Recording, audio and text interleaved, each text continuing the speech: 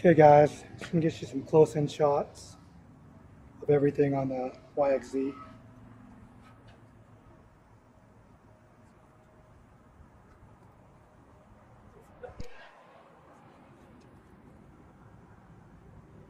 Maybe you experts might notice some changes.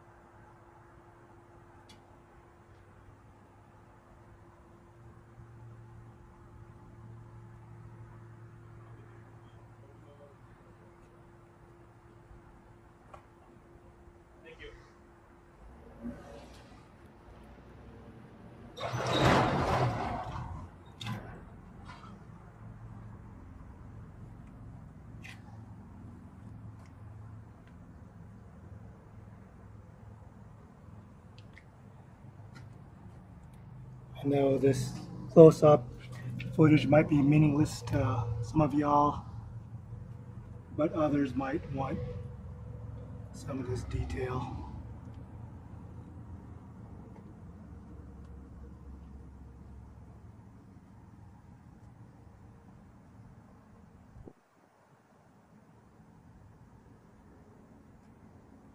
Can't